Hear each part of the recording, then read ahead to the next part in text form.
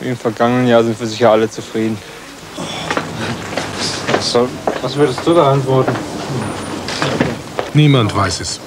Selbst Profis wie Bjarne Ries sind nervös. Mit diesen Rädern werden sie morgen beim Prolog antreten. Eigentlich sollten Ulrich und Ries auf nagelneuen Carbon-Zeitfahrmaschinen starten.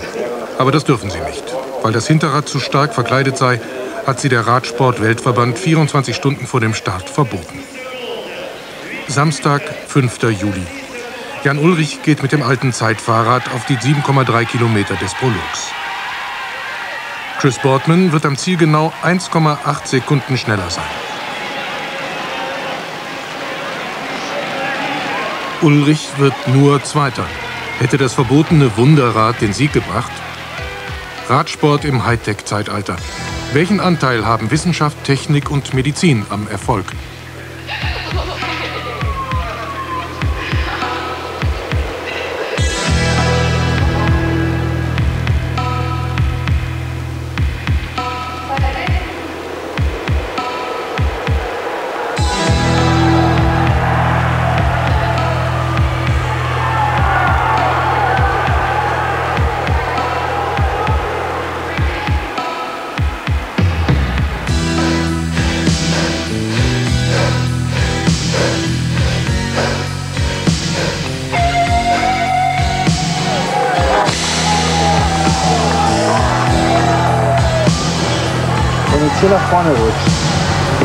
Auch runter gehst, sind ja die Winkel die gleichen.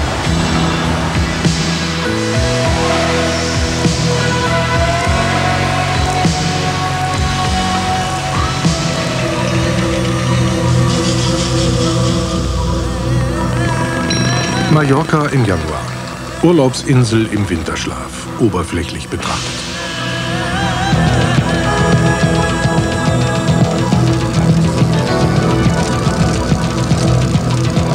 Die Baleareninsel ist traditionelles Trainingsquartier des Teams Telekom. Kilometerfressen ist angesagt. Grundlagen Ausdauertraining zum Beginn der neuen Saison.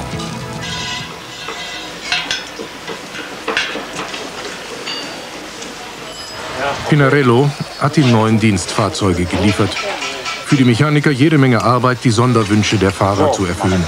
Haben wir denn jetzt wohl noch einen 46er Lenker? Ich denke, was eine bei Die komplette Mannschaft samt Mechanikern und Betreuern trifft hier zum ersten und einzigen Mal in der Saison zusammen.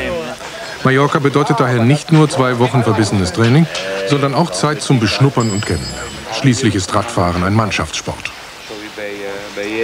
Hier passt das super. 13 Technikverliebt sind sie alle. Nicht nur Werkzeugmacher Rolf Aldag. Mit westfälischem Humor ist er auch offen für originelle Neukonstruktionen.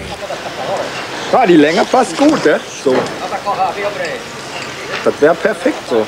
So, dann. Aber die Höhe noch nicht. Ich denke, andersrum ist besser. Die Neunfach-Zahnkränze von Campagnolo, im vergangenen Jahr die Techniküberraschung der Tour, sind heute Standard. Extrem feine Abstufungen werden möglich, zwischen 12 und 21 Zähnen. Größere Ritzel brauchen die Profis selbst in den Alten nicht.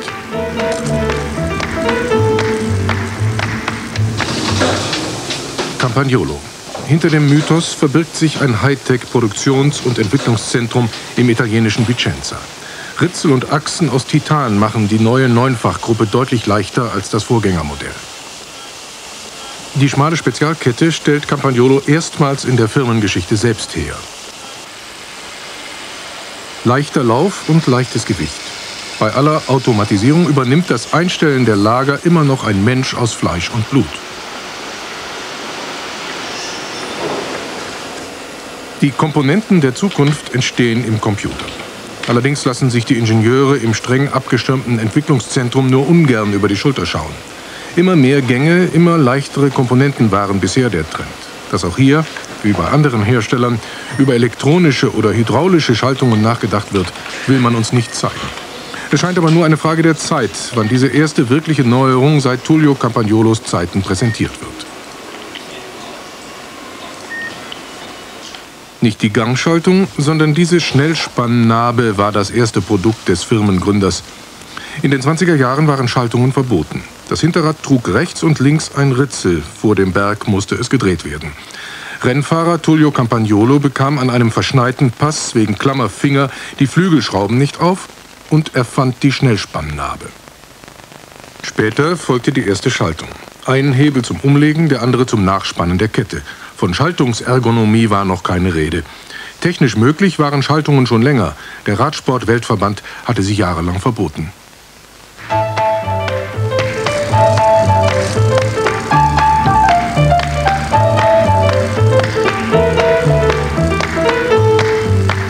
...150 bis 250 Kilometer pro Tag. Jeden vierten Tag eine kürzere Erholungsetappe. Die Telekom-Radler kennen Mallorca wie ihre Westentasche. Wundernahrung brauchen sie für ihre Ausflüge nicht. Ohne strengen Speiseplan bedienen sich die Profis am Hotelbuffet. Sie sind selbst vernünftig genug, auf viele Kohlenhydrate und wenig Fett zu achten. Erlaubt ist, was schmeckt. Ein guter Indikator für das, was dem Körper fehlt. Berge von Spaghetti gibt es nur bei den großen Rundfahrten. 260 Kilometer stehen heute auf dem Programm. Zum Beginn der Saison ist das auch für Berufsfahrer keine Ausflugsfahrt. Die Trikottaschen werden gefüllt. Die Pulsuhr gehört zum Standard, wie in allen Ausdauersportarten. Während viele italienische Teamärzte ihren Fahrern genaue Herzfrequenzbereiche für das Training vorgeben und sogar die abgespeicherten Daten kontrollieren, läuft die Trainingsplanung beim Team Telekom lockerer ab. Nur Jan Ulrich hat einen eigenen Trainer. Die übrigen Fahrer planen ihre Touren in Abstimmung mit den Teamärzten in eigener Verantwortung.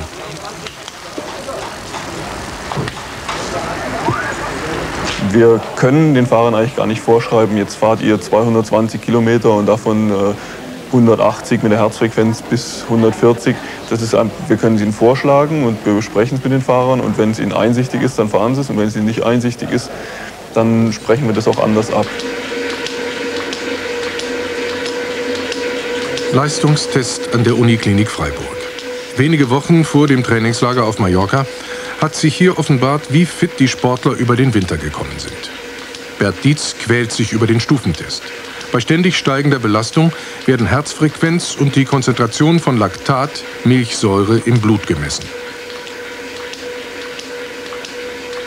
Wie viel Milchsäure bei welcher Belastung entsteht und wie schnell sie wieder abgebaut wird, gibt Anhaltspunkte für die Ausdauerleistungsfähigkeit des Sportlers. Mit steigender Belastung steigen Herzfrequenz und Laktatkonzentration in charakteristischer Weise an.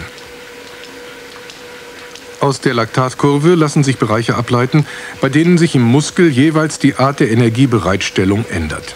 Ganz grob lassen sich dem bestimmte Herzfrequenzbereiche zuordnen, nach denen sich gezielt trainieren lässt. Die Daten bilden die Grundlage für die Trainingsplanung der nächsten Wochen. Falsche Höflichkeit wäre bei der Diskussion der Ergebnisse fehl am Platz. Eine Minute 360 Watt. Da bleibt ein bisschen was zu tun noch auf Mallorca. Ja. Wenige Kilometer entfernt, fast zur gleichen Zeit. Im Radlabor der Uni Freiburg unterziehen sich die Radamateure ihrem Leistungstest. Die maximale Sauerstoffaufnahmefähigkeit ist für die Teamärzte ebenso interessant wie die Laktatkurve. Gleichzeitig wird die Aktivität aller beim Treten beteiligten Muskeln abgeleitet. Ebenfalls registriert wird, wie rund der Sportler das Pedal tritt, welche Kraft er bei welcher Pedalstellung aufbringt – Grundlage für eine genaue Analyse der Trägtechnik. Solche Untersuchungen kommen allerdings nur den Amateuren zugute. Profis trifft man in der Regel im Freiburger Radlabor nicht. Das Problem ist hier. Das dürfte nicht passieren. Da, bist du einfach, da bremse ich sogar noch, oder? Genau, du bremst in diesem Moment das Pedal. Ne? Fertig. Hopp. Okay. Bert Dietz macht eine Ausnahme. Nach einer Verletzung im vergangenen Jahr meint er in einem Bein weniger Kraft zu verspüren als in dem anderen. Die Freiburger Sportwissenschaftler versuchen, sein Gefühl zu objektivieren.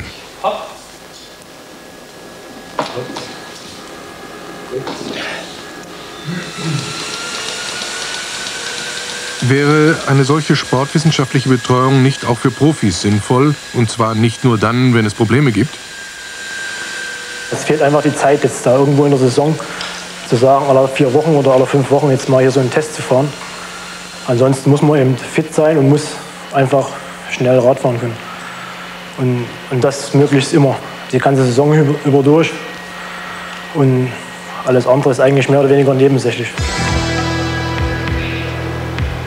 Ergometrien und, und ähnliches würde ich eigentlich schon viel lieber öfter machen, einfach um da ein bisschen Konstanz reinzubringen, um zu sagen, okay, man kann das und das rausschließen, Trainingsstand und so weiter. Man ist sonst manchmal schon unsicher, es läuft nicht perfekt, woran klemmt es jetzt eigentlich?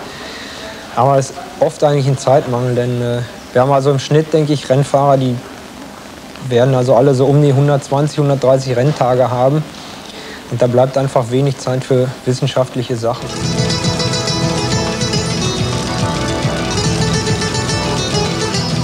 Einfach Schnellradfahren verlangt der Sponsor. Von den meisten der 16 Fahrer im Team die ganze Saison über. Nur die Stars dürfen sich auf die Tour de France konzentrieren. Zeit für Wissenschaft auf schmalen Reifen hat allenfalls Teamarzt Lothar Heinrich. Er hat die Ergebnisse der Leistungsdiagnostik mit nach Mallorca gebracht. Zusammen mit dem sportlichen Co-Leiter Rüdi Pevenage werden Training und auch schon die Renneinsätze geplant. Die Fahrer, die schon in den ersten Rennen Sieger einfahren sollen, müssen schon auf Mallorca intensiver ran. Der Harnstofftest soll verhindern, dass die Fahrer dabei zu viel des Guten tun. Wird der Körper zu sehr gefordert, beginnt er seine eigenen Proteine abzubauen und in Energie umzusetzen. Krankheiten und Infekte sind dann die Folge. Der Trainingserfolg wird in sein Gegenteil verkehrt. Aufgabe der Teamärzte ist es, dem vorzubeugen und den Übereifer gerade jüngerer Profis zu bremsen. Der morgendliche Wert ist dann auch schon ausschlaggebend häufig für die Trainingsbelastung am jeweiligen Tag. Das heißt also, bei hohen Harnstoffwerten wird die Trainingsintensität reduziert. Bei niedrigen Harnstoffwerten kann man das Training weiter so gestalten wie geplant.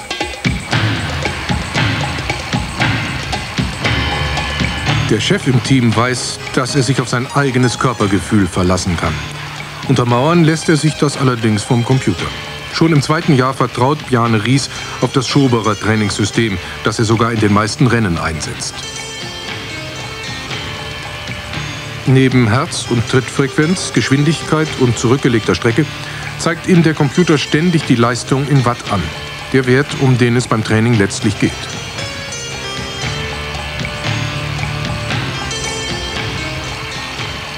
Uli Schoberer aus Jülich ist Erfinder und Hersteller des Messsystems, bestehend aus einem Spezialkettenblatt und dem Computer am Lenkrad.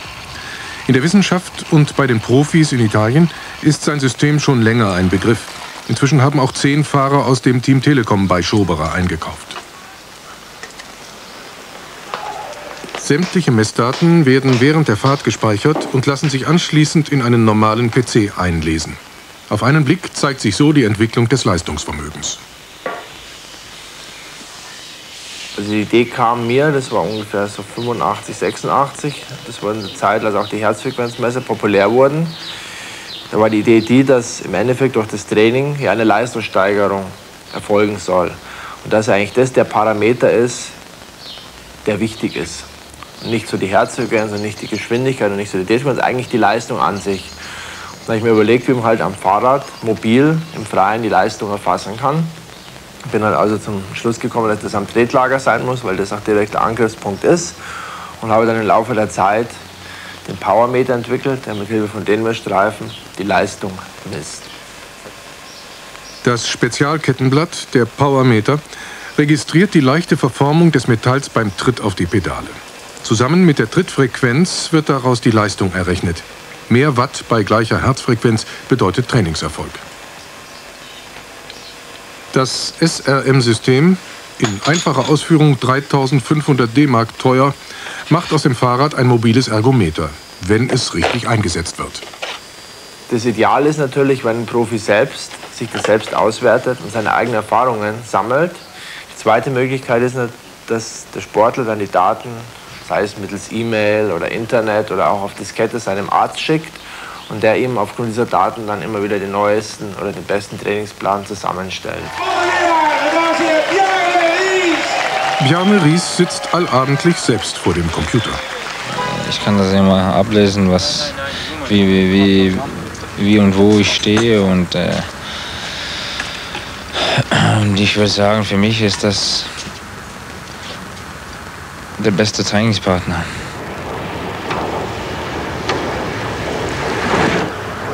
Auf der Radrennbahn von Palma de Mallorca versucht Ries seine Aerodynamik auf dem Zeitfahrrad zu verbessern. Welche Laufräder bieten den geringsten Luftwiderstand und welche Sitzposition ist optimal? Ries hat dafür Uli Schoberer als persönlichen Berater engagiert. Die vom Fahrradcomputer aufgezeichneten Daten zeigen auf das Watt genau, in welcher Haltung, mit welchem Aufbau Ries am wenigsten Leistung für die gleiche Geschwindigkeit aufwenden musste. Die Daten des Schoberer Systems sind viel realistischer als reine Windkanaltests. Zwischen jeder Testfahrt wird der Aufbau des Rades geändert. Der Radsport-Weltverband macht dabei allerdings enge Vorgaben.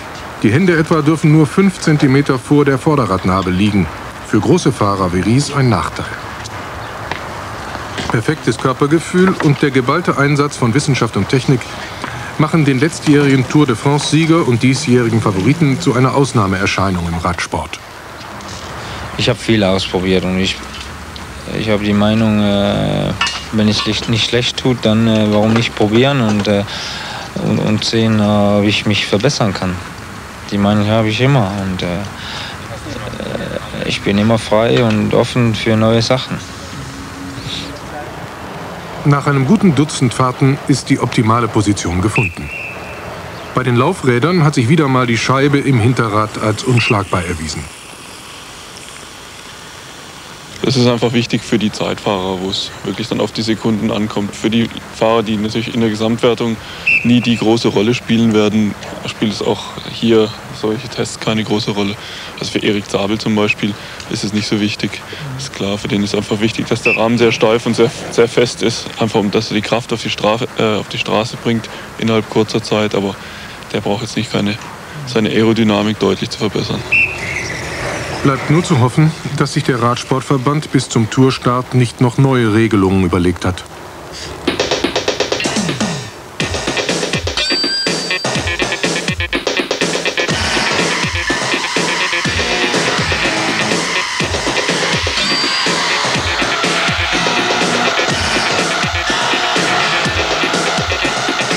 Gute Aerodynamik für die meisten Fahrer das Wichtigste beim Zeitfahren.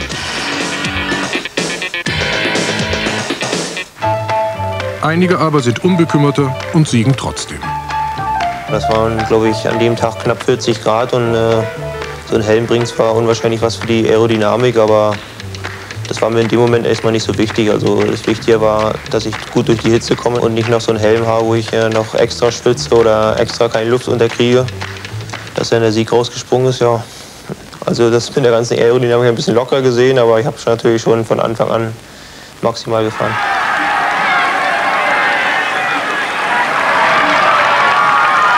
Man muss sich auf dem Rad wohlfühlen, sage ich mal. Das ist die ist Nummer eins.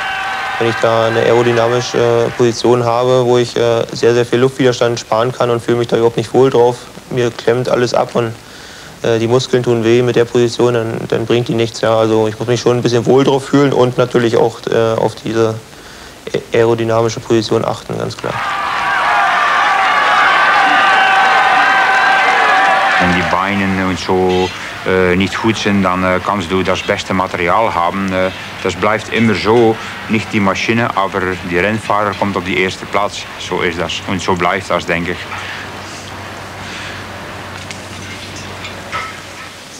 Nicht nur die technische Ausrüstung, auch das wertvolle persönliche Betriebskapital der Rennfahrer bekommt daher gebührende Pflege. Bei Erik Zabel meint es die Natur besonders gut mit einer bestimmten Art von Muskelfasern, die ihm besondere Schnellkraft verleihen.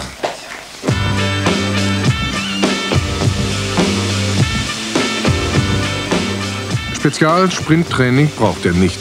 Und das Material muss vor allem eins, seinem kräftigen Tritt standhalten. Der letzte technische Schrei ist dann nicht gefragt. Also ich bin doch eher so ein konservativer Typ, ja. Also selbst äh, bei mir mit, mit allen Sachen, die jetzt so neu kamen, denken wir jetzt nur mal an äh, die Aufsätze oder jetzt diese halben Aufsätze, die im Straßenrennen gefahren werden. Da bin ich doch im Grunde immer einer der Letzten gewesen, die das so mitbenutzt haben ist halt immer diese, diesen Mittelweg, den man finden muss zwischen äh, den neuesten technischen Errungenschaften im Radsport und äh, Sachen, die sich äh, über Jahre bewährt haben. Ja.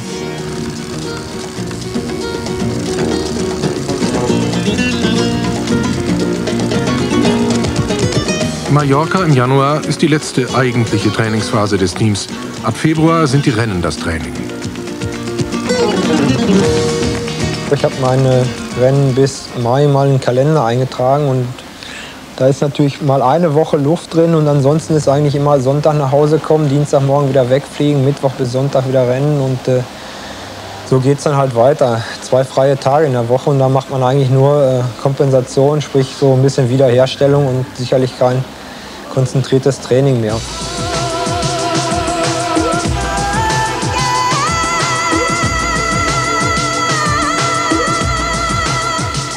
Saisonstart ist Anfang Februar. Für das Team Telekom begann sie so erfolgreich, wie die alte geendet hatte.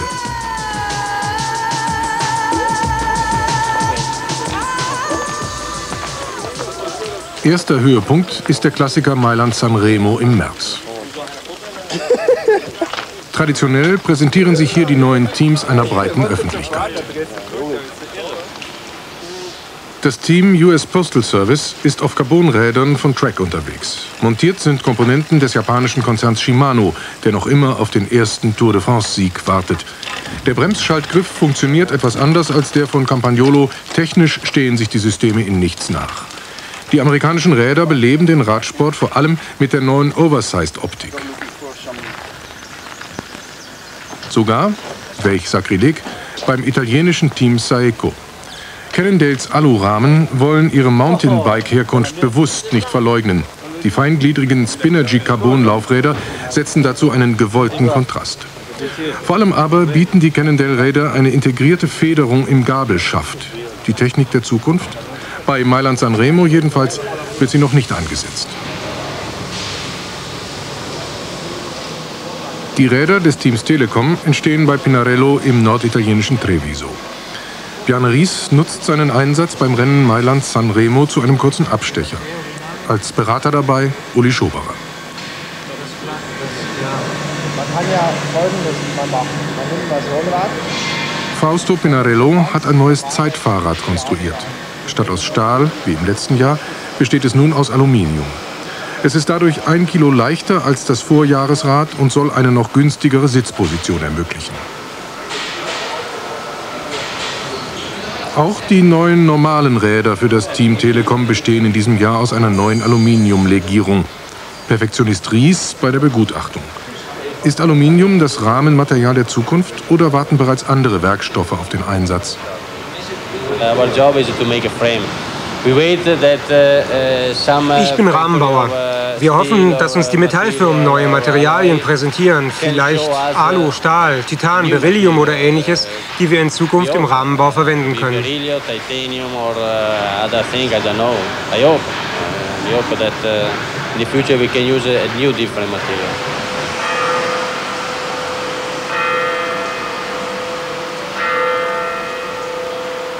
Wenige Kilometer von Treviso entfernt, in Bassano del Grappa, wird mit solchen Materialien experimentiert. Im Metallwerk entstehen vor allem Rohre aus allen erdenklichen Aluminiumlegierungen. Alberto Battistello verarbeitet sie zwei Straßen weiter zu Fahrradrahmen. Battistellos Erfahrung mit Alu- und Titanlegierungen nutzen viele Hersteller, um bei ihm fertigen zu lassen. Bis zum vergangenen Jahr kamen auch alle Pinarello-Alu-Räder aus seiner Fabrik. Ständig ist der Ingenieur auf der Suche nach neuen, noch besseren Materialien. Battistellos Favoriten sind derzeit sogenannte Metal Matrix Composite Werkstoffe, MMC. In einer Matrix aus Aluminium sind viele kleine Keramikpartikel eingelagert, die bei gleicher Wandstärke für deutlich mehr Festigkeit sorgen. Neue Schweißverfahren für derartige Materialien zu entwickeln, ist für Battistello eine Herausforderung.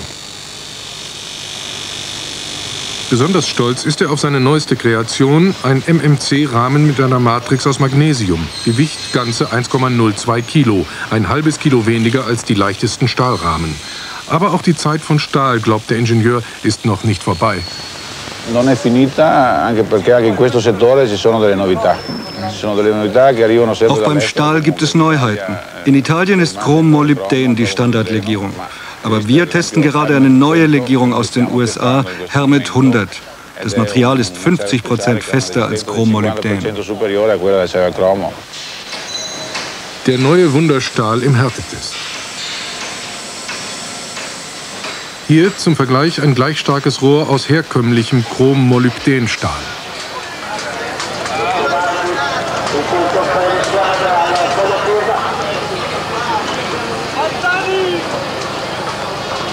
Zurück in Mailand. Spätestens am Start interessiert keinen der Fahrer mehr, ob sein Rad aus Stahl oder Alu gefertigt ist. Jetzt zählt nur die Taktik. Im Normalfall geht es natürlich erstmal für Erik. Erik hat super Form, hat einige Rennen gewonnen im Frühjahr. Wir müssen sicherlich mit einigen Leuten über die Zipressa kommen und dann den Poggio halt versuchen, Rennen so weit unter Kontrolle zu halten, dass Erik eine reelle Chance hat. Im Sprint kann er alle schlagen. An Massensprints wird sicherlich ganz bestimmt nicht, aber ähm, wenn eine Gruppe von 20 ankommt, dann hat er eine Chance zu gewinnen. Poggio und Cipressa. Mailand-Sanremo-Veteranen wie Rolf Aldag haben schon am Start des fast 300 Kilometer langen Klassikers nichts anderes im Kopf. Das Streckenprofil ist auf den ersten Blick nicht besonders respekteinflößend. Wenn dann nicht diese beiden Erhebungen kurz vor dem Ziel wären. In den letzten Jahren hat sich das Rennen immer erst hier entschieden.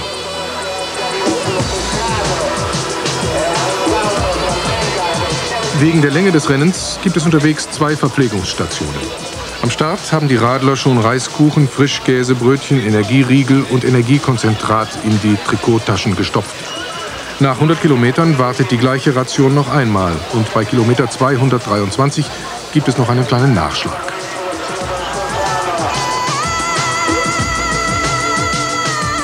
Bei der ersten Verpflegungsstation trifft das Feld erwartungsgemäß noch geschlossen ein.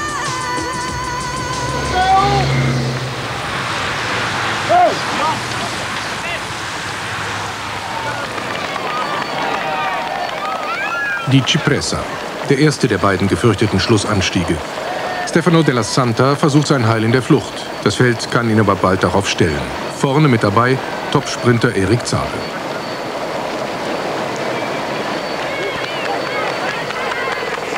Kurz darauf der Poggio. Erik Zabel hat auch hier keine Probleme mitzuhalten. Eine etwa 30-köpfige Spitzengruppe biegt auf die Zielgerade ein. Ein gutes Auge und die schnellsten Muskelfasern geben nun den Ausschlag. Zabel gewinnt. Gestürzt wird erst hinter ihm. Ohne ernste Verletzungen. Sprinter sind hart im Nehmen.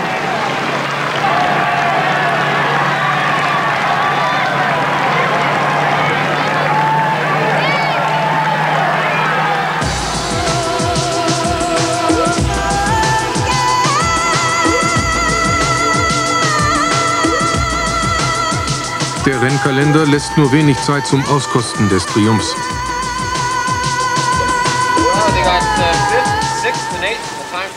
Paris-Roubaix wenige Wochen später. Zwei Fahrer von US Postal Service wollen mit einem vollgefederten Rad antreten. Technische Innovationen haben hier Tradition. Tribut an die Strecke, die als das schwerste Eintagesrennen der Welt gilt. 50 der insgesamt 270 Kilometer führen über Kopfsteinpflaster der übelsten Art.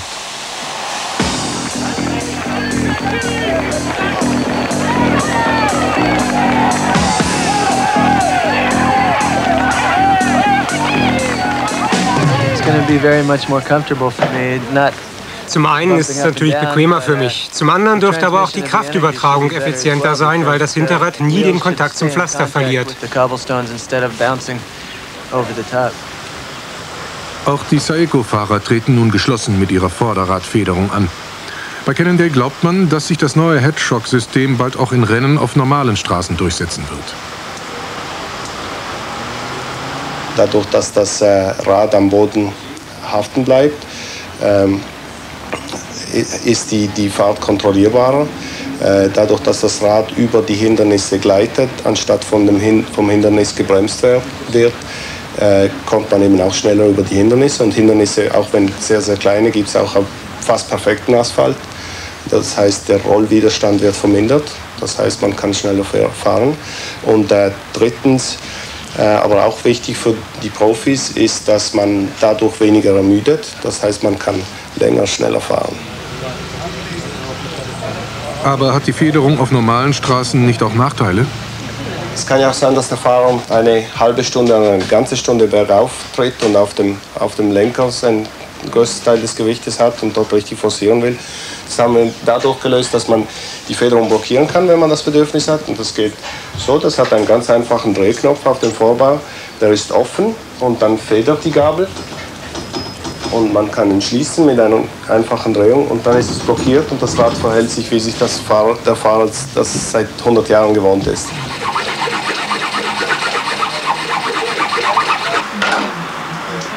Beim Team Telekom ist am Vortag des Rennens Bastlerarbeit angesagt. Die Pinarello-Räder bekommen eine Federgabel des amerikanischen Mountainbike-Spezialisten Rock Shocks. Auch diese Gabeln verfügen inzwischen über einen einfachen Blockiermechanismus. Ich hoffe, dass da einige Stöße über das Vorderrad ein bisschen absorbiert werden. Und der Effekt könnte sein, dass vielleicht der Vorderreifen länger hält. Wenn du dann nämlich hier anfängst, klick, Rolf Aldag, Bert Dietz und Mechaniker Jean-Marc van den Berge diskutieren noch das Für und Wider. Wenn man sich jetzt ziemlich fest den Lenker festhält und die Finger, kriegt man kaum noch die Finger auseinander und die Arme werden bis zum Ellenbogen so, so richtig taub. Ja. Und dem kann man eigentlich entgehen, indem man diese Federgabel fährt. Das ist eigentlich, sag ich mal, einfach bloß eine Bequemlichkeit, aber die vielleicht doch über die Länge der Strecke denke ich mal, vielleicht einen Vorteil bringt. Hm, für mich spricht dagegen, ja.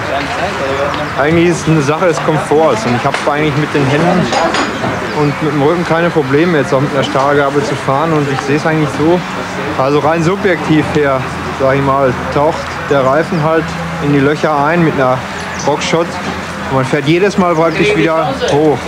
Hingegen bei der Stahlgabel rattert man mehr übers Pflaster. Also man fällt nicht so extrem in die Löcher. Sicherlich ist es angenehm, aber wenn man langsam ist, ist eine Rockshot ja. sicherlich angenehmer. Darum sage ich ähm, mal so, wenn es extrem nass ist, wird das Rennen viel langsamer, fahre ich auch mit einer Federgabel, mit einer Rockshot. Aber äh, solange wie es trocken ist und man Schwung hat, fährt man sicherlich besser mit einer, also vom Gefühl her für mich subjektiv äh, schneller mit einer Stahlgabel.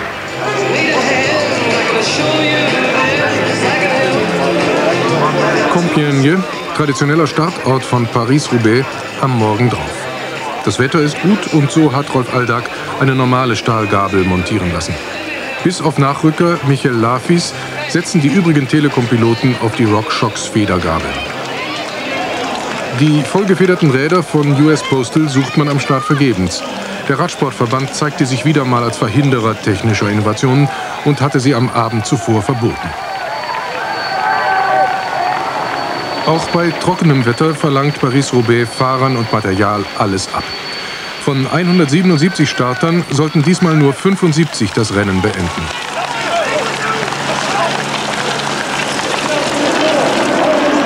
Einfahrt ins Velodrom von Roubaix. Eine Achtergruppe konnte sich absetzen. Am Schluss hat der bis dahin weitgehend unbekannte Frédéric Guédon die Nase vorn. Eine Federgabel hatte er nicht. Doch das interessiert in diesem Moment kaum jemand.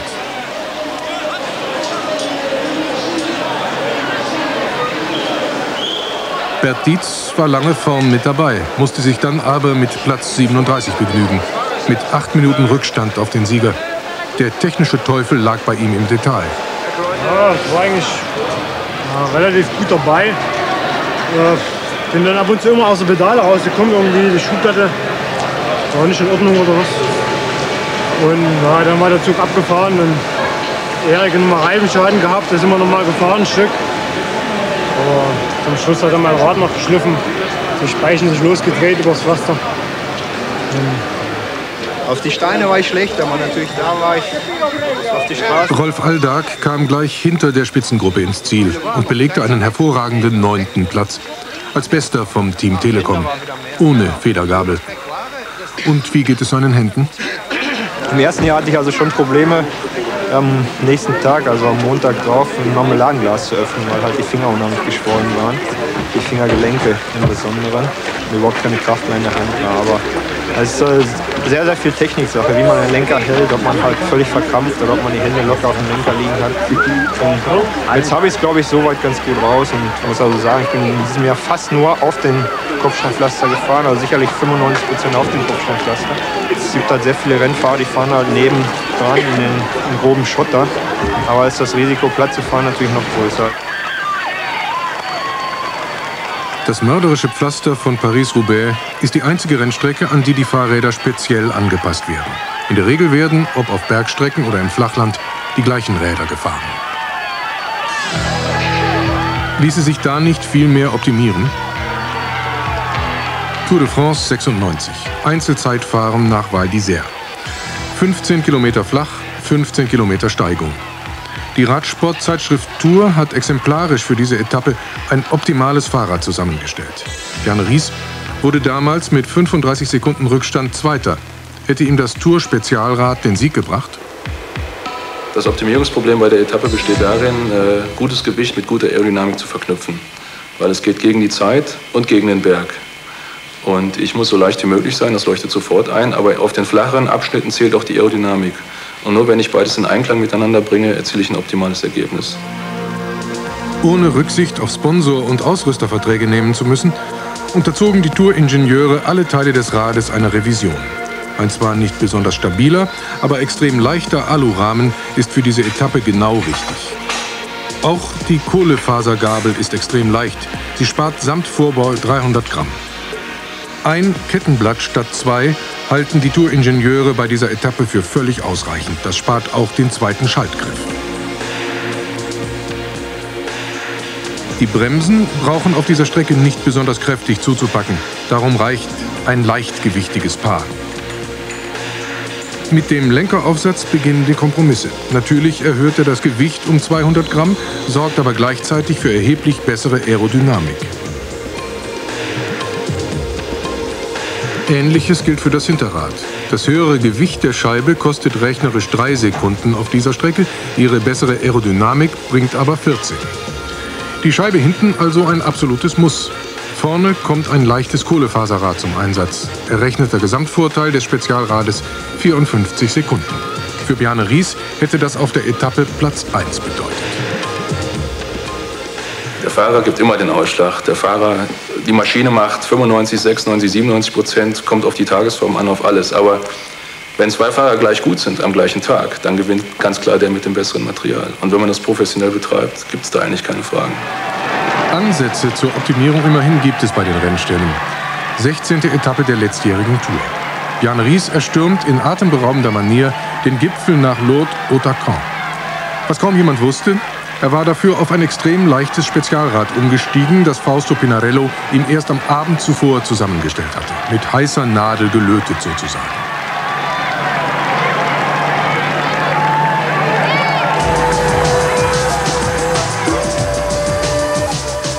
Giro d'Italia 97. Ivan Gotti und Pavel Tonkov kämpfen um den Sieg.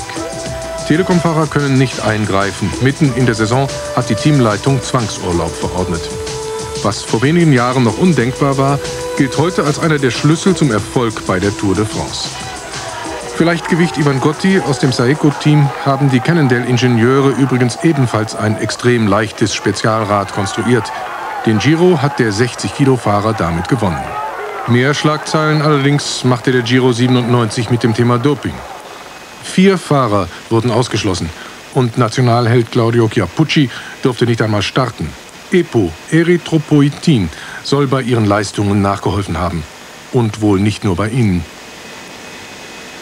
Dass es eingesetzt wird, glaube ich mittlerweile schon. Wir haben sehr viele äh, Berichte von Seiten der Radfahrer selber. Wir haben auch Informationen von äh, Mitarbeitern, die im Radsport tätig sind, die uns zum Teil auch Präparate gezeigt haben, die verwendet werden. Äh, wir wissen allerdings nicht, äh, wie umfangreich das tatsächlich gemacht wird. Das gentechnisch hergestellte Hormon fördert die Bildung roter Blutkörperchen. Das Blut kann dadurch mehr Sauerstoff transportieren. Die Leistung explodiert. Bei nur leicht zu hoher Dosierung aber wird das Blut zähflüssig wie Ketchup. Ein Herzinfarkt droht. Künstliches EPO lässt sich noch nicht von körpereigenem unterscheiden. EPO-Doping ist also nicht direkt nachzuweisen. Die Kontrolleure des Radsportverbandes zählen daher die roten Blutkörperchen und unterstellen ab einem bestimmten Wert, dass etwas nicht stimmt. Liegt der Anteil fester zu flüssiger Bestandteile im Blut, der Hämatokritwert über 50 Prozent, wird der Fahrer für zwei Wochen gesperrt. Offiziell nicht wegen Doping, sondern wegen möglicher Gesundheitsgefahren. Ein Grenzwert von 50 aber kann durchaus noch im Normalbereich liegen. Besonders etwa nach einem Höhentraining, glauben viele Ärzte. Drohen bei der Tour de France weitere Sperren? Es ist zu erwarten, dass einige Fahrer über 50 Prozent liegen könnten, allein schon aus gesundheitlichen Gründen. Bei Infekten bzw. Bei, vor allem bei Magen-Darm-Infekten mit hohen Flüssigkeitsverlusten kommt es sehr leicht zu werden, über 50 Prozent, so wie es unserer Erfahrung entspricht. Deswegen ist es zu erwarten, dass durchaus jemand mal über 50 liegen kann, was nicht unbedingt der Karriere des Fahrers förderlich ist und auch nicht unbedingt der Wahrheitsfindung förderlich ist zur EPU. Trotzdem muss man sagen, dass der Bluttest an sich so zu befürworten ist, auch von unserer Seite unterstützt wird. Es wäre sinnvoller mit einem anderen Grenzwert, aber es ist besser, wir machen mit dem Grenzwert als äh, mit den Gerüchten weiter. 4, 3, 2, 1, top! Rouen, 5. Juli. Keine Zwischenfälle beim Start der Tour de France 97. Alle getesteten Fahrer lagen unter dem Blutgrenzwert.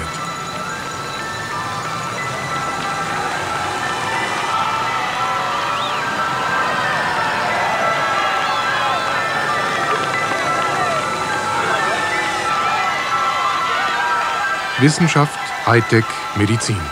Garantieren Sie den Erfolg im Radsport? Sie haben den Sport verändert, aber heute wie damals ist es immer noch der Fahrer, der den Ausschlag gibt.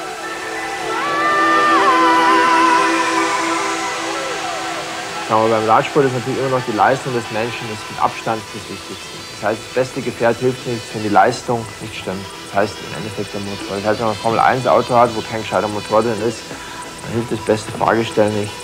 Man wird da, kommt nicht weg am Start. Ich wusste schon, dass es sehr schwer war, aber alles ist schwer. Aber man muss doch Ziele haben und äh, jetzt habe ich das geschafft. Wenn du so einen Wunsch offen hältst an Material oder an technischen Hilfsmittel, gibt es da etwas, was du dir wünschen würdest? Ja gut, wir können einen Motor reinbauen.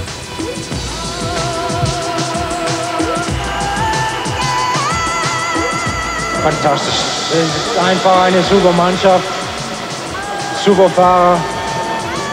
Alle hat hundertprozentig für mich gefahren. Das war einfach super.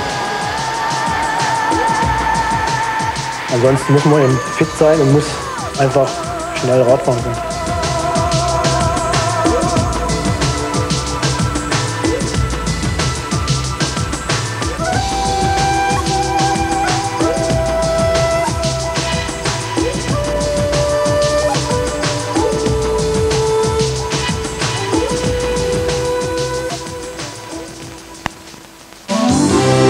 Im flachen Westen Frankreichs und durchqueren die Normandie auf dem Weg in die Bretagne. 56 Kilometer noch sind zu fahren. Vier Fahrer hatten sich nach 80 der